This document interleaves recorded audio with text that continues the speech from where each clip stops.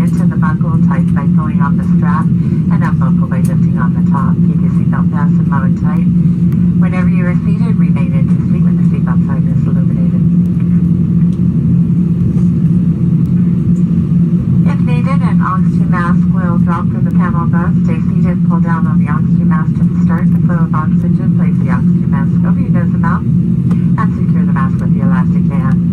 Tight by pulling up the. Bag will not inflate, however, oxygen will be flowing. Put your mask on before helping others and keep it on. Until you're advised by a crew member it is no longer necessary. There's a single chamber life vest under each seat in premium class and night main cabin. In first class, they are at floor level.